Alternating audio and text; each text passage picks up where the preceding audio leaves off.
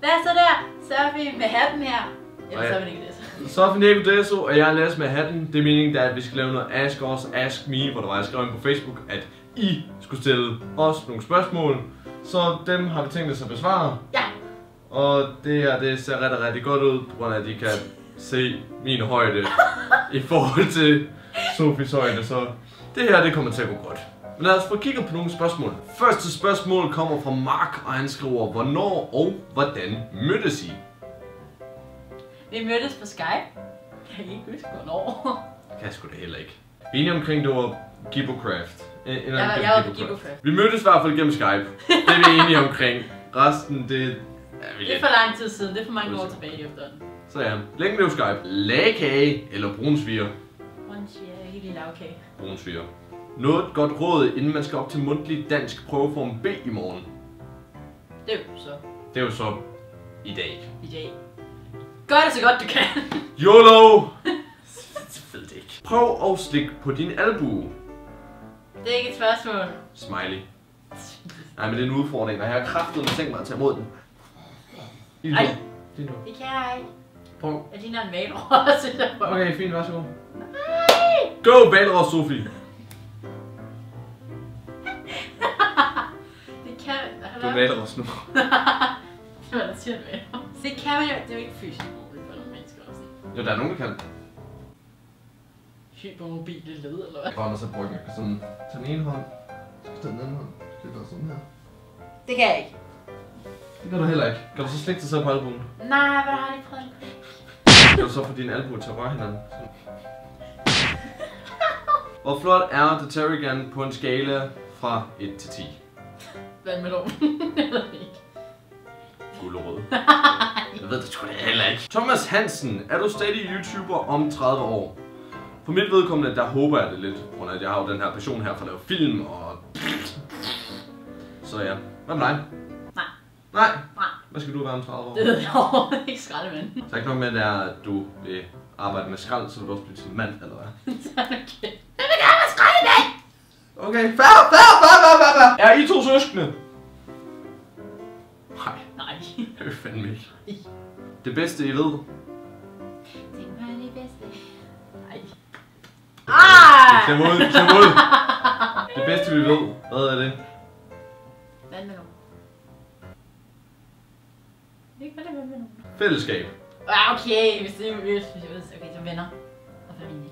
Okay. Jamen prøv at se, det dækker fællesskab også, det dækker også Okay, så fællesskab, men også vandmelon. Hvor der er fællesskab, så er der også ud til alle mine dejlige subscribers, som ser mine videoer. Men også vandmelon. Hvordan fanden er fællesskab og vandmelon forbundet? Hvad skal I, når I er færdige med skolen? Spørger Cecilia. Så. Og det er pt. da jeg er færdig med skolen, jeg er i gang med gymnasiet. Og så skal jeg have et sabbatår, og så skal jeg på universitetet og studere enten medievidenskab eller mediologi. Hvad med dig? Det var lang tid til, jeg er færdig med gymnasiet. Stadigvæk skraldemand. Hold kæft. Ja, ja, ja, ja, gå væk. Gode råd til, hvis man gerne vil starte en YouTube-kanal. Mit gode råd til dig, det er, at du skal kun udelukkende gøre det, hvis det er du har lysten til det. Det skal ikke være sådan noget med, wow, jeg får mega mange subscribers, eller views, eller tjener bare kassen på det. Det gør man ikke. Eller får en masse produkter sponsoreret osv. Hvis Det gør du starter på det princip, så skal du helt lade være på. Det er det helt forkerte udgangspunkt at starte med. Du skal starte med, hvis der du har en passion for film. Og så vil jeg også mene, at hvis der du har noget originalt, som du kan bidrage med i forhold til alt det originale, der er på YouTube, jamen ved du hvad, så, øhm, Så go for it. så prøv dig frem med at prøve at vise det. Hvad med dig? Sammen som Lasse, det er jo så Ej, det er fandme lidt for let bare at sige. Det er samme som Lasse. Det er da rigtigt. Ja. Ja. Sofie er en Sofie, og hvis Sofie er en Sofie, er hun så glad for at være en Sofie? Og hvis hun er det, er du Lasse så glad for, at Sofie er en Sofie, som er en Sofie, som er glad for at være en Sofie? Er Sofie en Sofie? Ja. Og hvis Sofie er en Sofie, er hun så glad for at være en Sofie? Ja. Og hvis hun er det, er du Lasse så glad for, at Sofie er en Sofie, som er en Sofie, som er glad for at være en Sofie? Nej. Anyway, Rasmus skriver, hvis I skulle vælge mellem en af de følgende tv-serier, hvilken en vil I så vælge? Doctor Who, My Little Pony, Friendship's Magic, Sherlock, Supernatural eller Dexter? Altså, I har set showet, eller hvad? Jeg ved ikke dig, men jeg har ikke set andre shows end Jeg har Little My Little Pony. Pony. Little Pony! Går I meget i byen i weekenden? Nej. Gør du det, Lasse? Går du meget i byen? Går du ud og fester med homiesnø og sådan noget? En gang imellem. Ikke tit. en gang imellem. Hvordan kom du på Lasses kælenavn? Det er Unichan, eller hvad? Det ved jeg ikke. jeg tror, det er det eneste, jeg kalder ved i hvert fald ikke om det er super fede faggot, så det må nok højst sandsynligt være Unichan, ja. Jeg vil lige læse min bror og, og, og bror på japansk, det betyder Unichan. Og fordi Sofie, hun er en weeboo. Hvad skal for noget? Hvad betyder det? Det er rigtig, rigtig godt, når det er det, så der du slet ikke engang ved det. Så. Woo! Næste spørgsmål. Hvor er det Hvorfor var I ikke med til The Blast Lane i Røde Kro? For langt, blev ikke inviteret. Øh, blev inviteret, men valgte at sige nej grundet eksamener. Så, ja. Tara, hun skriver, har I en gemt kærlighed for lyserøde valrosser, ligesom mig? Ja, selvfølgelig skal jeg. Det har jeg altid, fordi du er min lyserøde valros. Jeg ved ikke, hvad jeg er, men jeg er ikke til dyr, så... Hvorfor fanden skal du slå mig på det? Yndlings-Pokémon, og hvilken generation var den bedste? Jeg har ikke lyst til at være en faggot og sådan sige, at dengang jeg var barn, der var der kun, Generation 1. der var der kun 151 rigtige Pokémoner. Og ja, 151, vi tæller mye med. Min yndlings-Pokémon er Skitty eller Umbreon. Men jeg kan bedst lide generation 1. Jeg kan også umiddelbart bedst lide generation 1. Men jeg kan ikke huske, hvad min yndlings-Pokémon den hedder. Den er vist nok fra generation 2. Min yndlings-Pokémon, som jeg havde glemt navnet på, det må nok umiddelbart være Ampharos. Eller Ampharos. Eller hvordan i verden er du så løst ud til det? Den der! Psyko-Pokémon her, der er vold over den. Den der. Nå, til. Den der. Kan du ikke se den? Den der. Så når de det på. Hvis I skulle være dyr, hvilket så? Ulv. Eller kat. Ulf. Ulf. Du kan være en ulv. Hvad fanden? Du, du laver den der, skal jeg bitch slap dig, eller hvad? Du laver bare den der. Jeg bliver bange. Kan I godt lide Harry Potter, og hvad er jeres yndlingscosplay? Personligt der elsker jeg Harry Potter. Altså ikke sådan, sådan Harry, det er ikke. Personligt der kan jeg godt lide Harry Potter-serien. Jeg har læst alle bøgerne, og jeg har set alle filmene. Øhm, de sidste til udenlandspremiere, fordi at jeg er en stor fed nørd. Så jeg ved, at jeg kan godt lide Harry Potter. Hvad med dig? Har du læst nogle bøger? Jeg har ikke læst bøgerne, nej. Jeg har set filmene. Næsten alle filmene. Jeg har ikke set slutningen. Nå, hvad var vores yndlingscosplay? Så bliver det mit Labi cosplay. Når jeg får det købt. Jamen det har du ikke cosplayet nu. Nej, men det bliver mit yndlingscosplay. Ah, men mit yndlingscosplay, det er bare Jinx mandlige version for LOL. Jeg har ikke cosplayet ha- hende, ham endnu, men ja, han er så lidt i tvivl omkring sit køn, men det er bare mit yndlingscosplay. Det er ikke fair. Jeg har ikke ret mange cosplays.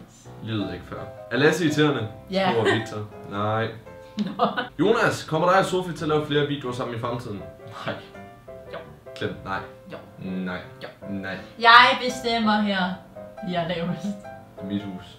Okay. Og det er dig, der er lavest, så det er er det er. fuldstændig lige meget. Godt så. Hej Lasse og Sofie. Vil bare lige høre, om I har hørt af min blog, Breezerkongen.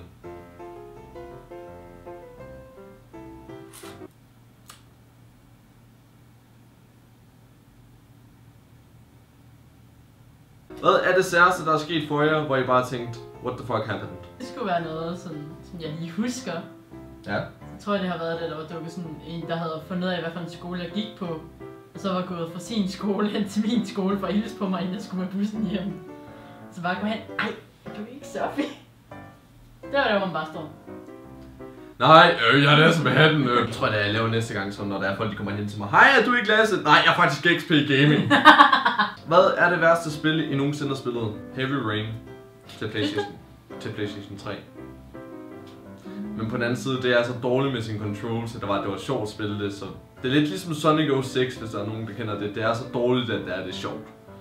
Men hvis der man tager spillet seriøst, så er det sikkert interessant. Du har ikke spillet et eneste dårligt spil. Ikke hvad jeg lige husker, nej. Kun gode spil i Sofies verden. Kan I godt lide bananer? Bare Altså, der var, der var sådan en Der er. Hvem ville du mindst ønske kom ind ad din dør lige nu?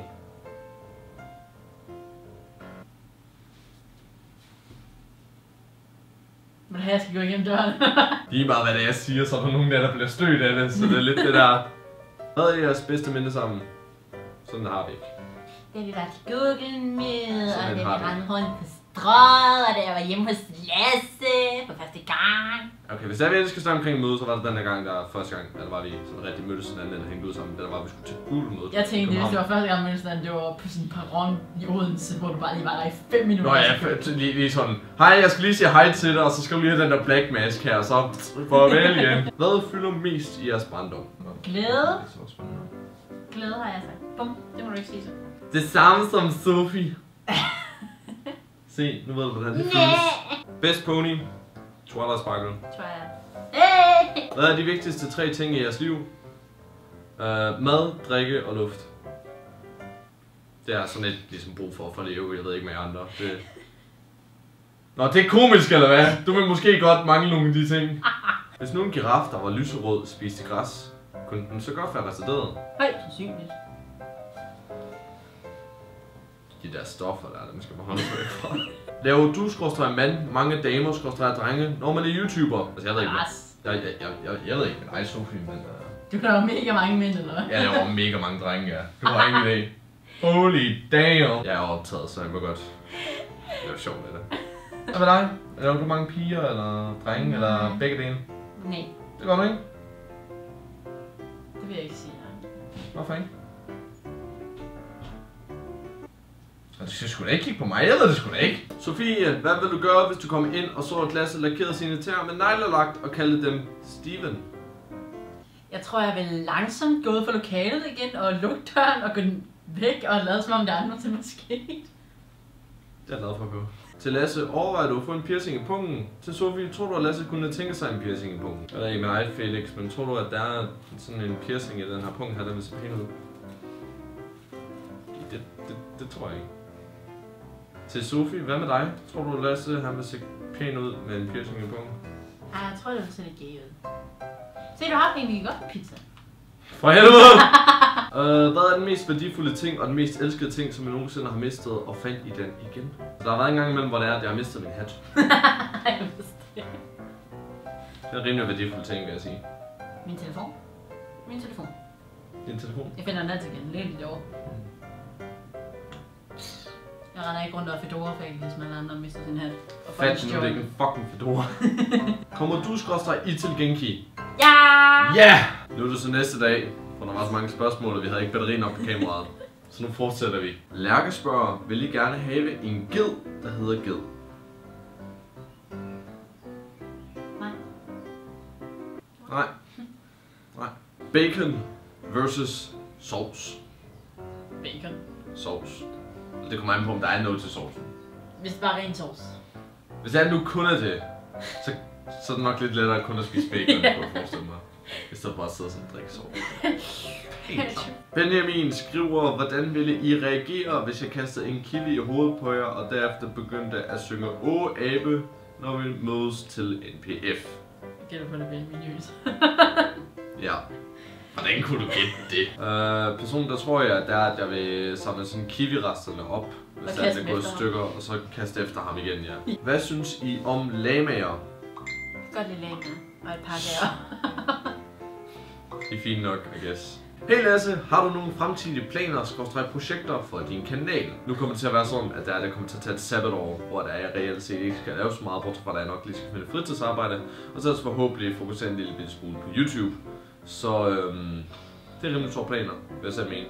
Og så håber jeg ellers, at der, at jeg kan få en hel del op at køre på min kanal, og der jeg kan få godt i gang i den, og bla bla bla, og Ja da, ja da, ja da. Bla bla bla bla. Næste spørgsmål. Lasse Plambæk Vestergaard, hvor tit laver du damer? Altså lige pt, der laver jeg ikke damer, på grund af det er lidt forkert at lave damer, mens du har en dame. Så lige nu, der laver jeg ikke damer. Men ellers så har jeg jo tidligere sagt, at jeg laver rimelig mange drenge. Men laver så på få damer.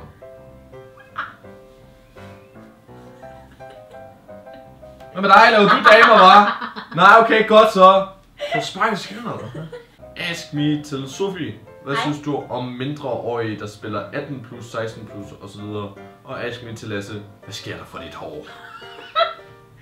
Ja, det er altså, hvad sker der for dit hår? Hvorfor skal du have sådan noget mærkeligt hår? Dit Bare- hår må tage misfarvet. og Bare fordi det er jeg fabulous, mit hår, det er sådan en bedre tilstand end dit. mit det spalter ikke, jeg har ikke spaltet spidser. Hvad med dig, hvad synes du om piger, eller børn, der, der spiller mindreårige spil? Sådan 18 plus og 16 plus. Jeg er fuldstændig ligeglad. Du er fuldstændig ligeglad, I okay? don't care. Og hvad sker der for mit hår? Mit hår det er fabulous. Næste spørgsmål. Hvis en agurk ikke var grøn, hvad for en farve ville den så være? Hvad fanden har spurgt det? Axel. Okay. Ikke vores Axel. Okay, det er jo shit. Det ved jeg ikke. Jeg ved det sgu ikke. Det har du fucking Pink. Sådan virkelig kraftig neon pink, sådan der man bare tænker, fuck, den skal jeg ikke have. og så bagefter, når man er på toilet, så nej. Ej. Det er bare dumt. Lasse, har du nogensinde ønsket dig at blive en prinsesse? Fabulous. Ej, det er det, Lasse. Hvorfor skal man være en prinsesse, når man kan være en dronning?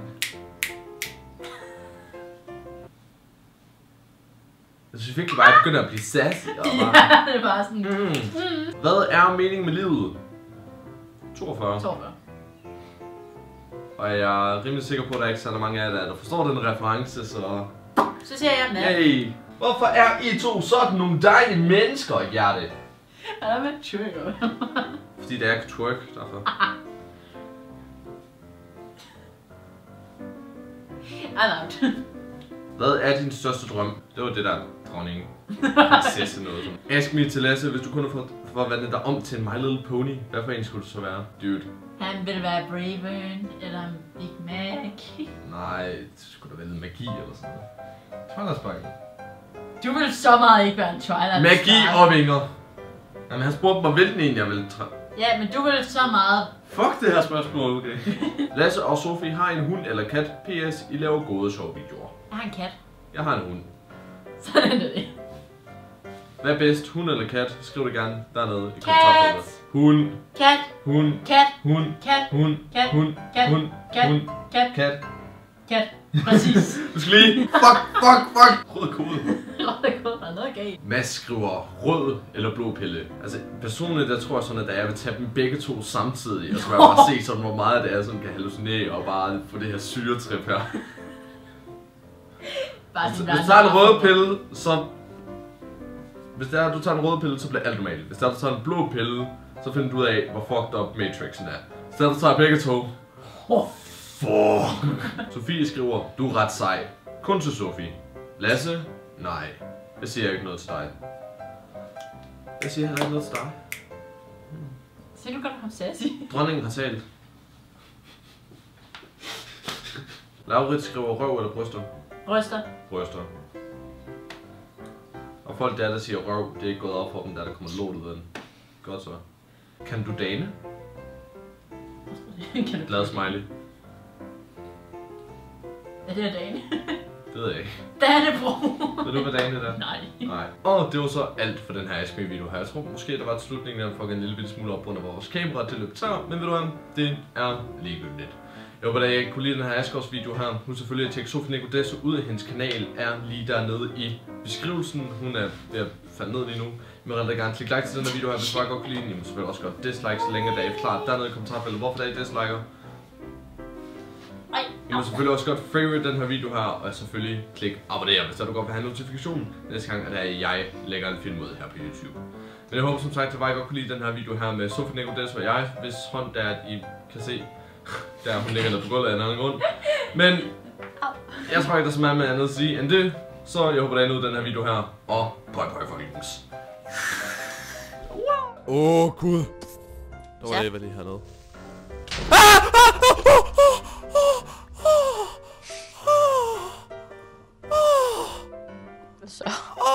oh, lidt der.